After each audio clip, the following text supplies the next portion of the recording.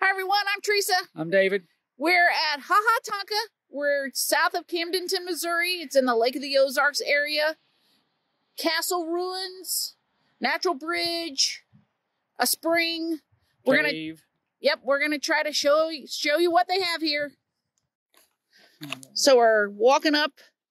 The visitor center is more of like a little outdoor information area. They do have an office here. They have a picnic area back in there with shelter, and they have restrooms. Haha Ha Tonka is Haha Ha Tonka is one of the most popular state parks.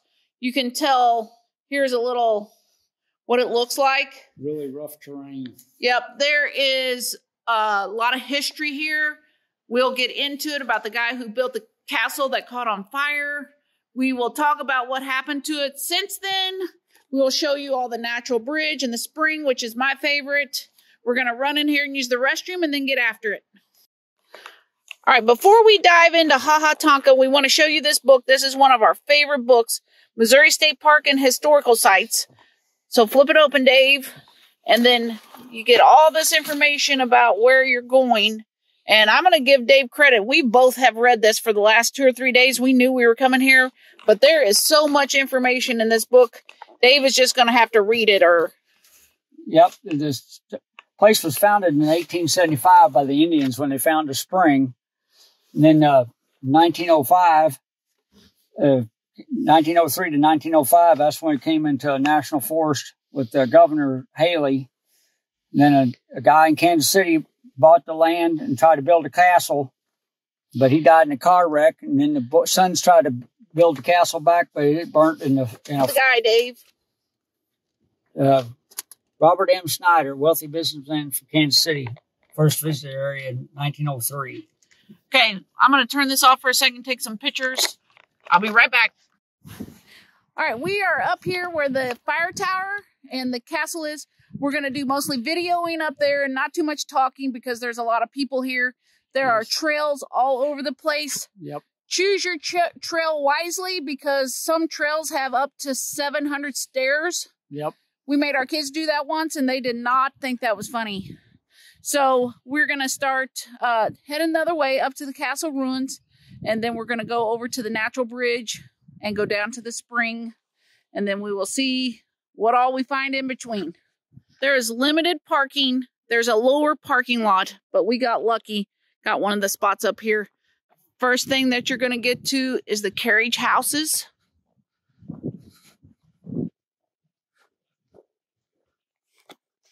Ha Ha Tonka is Missouri's 61st state park. It is located near Camdenton, Missouri.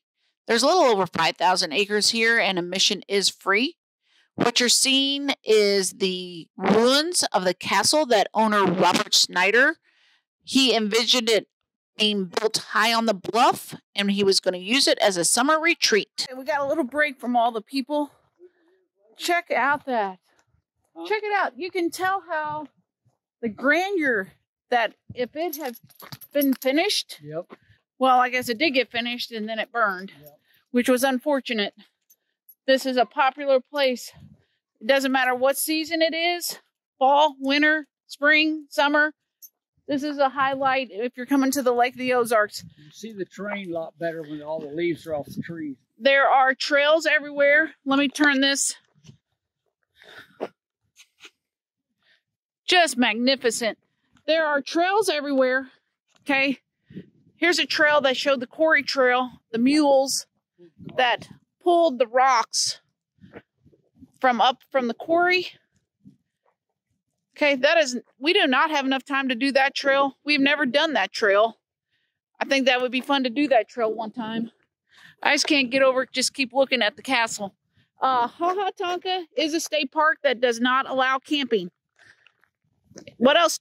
Dave, you were just mentioning everything else. 1978, after different businesses stuff like that, before the fire, they, uh, the boys, the sons, after the dad passed away, tried to get some money to you know turn it into a place where they people can lodge and stuff Retreat. like that, retreat area and stuff like that. People had money.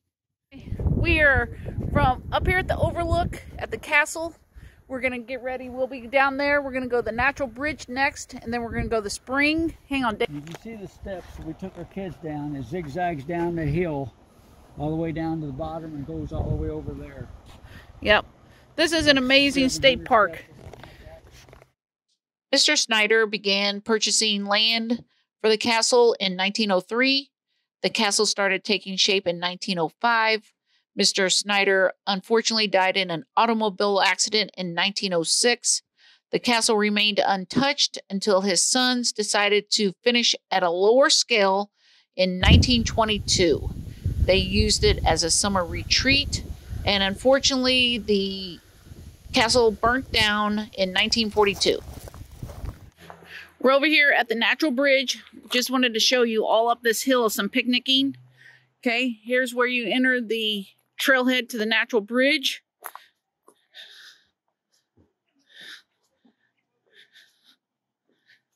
Okay, we'll go down and check it out.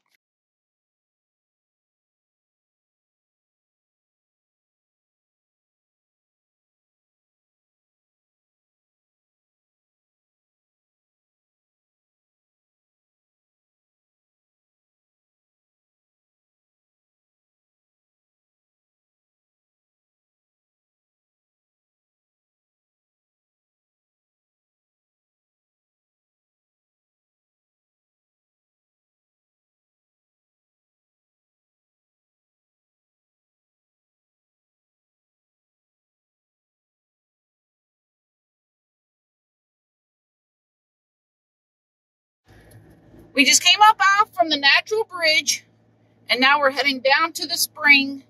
Dave found some more information he just wants to share with you while we're driving. Yep. They had two quarries that they was using to mine rock for the castle. They had 10 different greenhouses built. They had two carriage houses and they had uh, a post office. I think this is the post office right here. I think this is the post office. You got to go around the rim, they call it, from the deep canyon, which is like 200 feet down. I'm going to pull in here real quick. Where all these stairs are at. Mm. This is where all the stairs are. This is also where the view of the castle from this side. You can see. Okay, we are going to keep going. We need to go do the spring. There's picnic areas all over the place. And we may come back up here to this shelter to eat lunch. I'm not sure. They got two different shelters I've seen on the map. And you like can six tell, different picnic areas. You can tell that the local the locals here, they have their walking paths. There's trails everywhere that you can do different connect this trail to that trail and whatnot. And you can tell the the tourists that we don't have a clue really what we're doing, but we kind of know where we want to go. So we're heading down to the spring next. Okay, here we are at the spring trailhead. This is one of the prettiest hikes. I love this. We are down the bluff. The castle is up on top of the hill. We'll show you the water tower. We will show you the spring. You come to a spot where you can turn left and do the island trail. And we've done that trail. We recommend it. We don't have time to do it today. Here's a little shelter where you can eat lunch. Little kiosk signs in there. We just love this park. There's so much to do. That island trail goes all the way around, so you have water the entire trail on both sides. And here is one of the trails that comes down from the top that has many, many, many steps. There is one sketchy part of this trail. It's right here. Nope. He he can't fit there. He's gonna get stuck. Oh my god. Barely. He's a little wider, he wouldn't have made. This is the fun part for us. Like we we like going through things like that, but we do worry about the dog. We don't want him to break a leg. We don't want him to get stuck. We don't want him to get hurt. Had an electric pump that pumped the water. See, it's right there. Pumped the water up the hill. And there are some more stairs.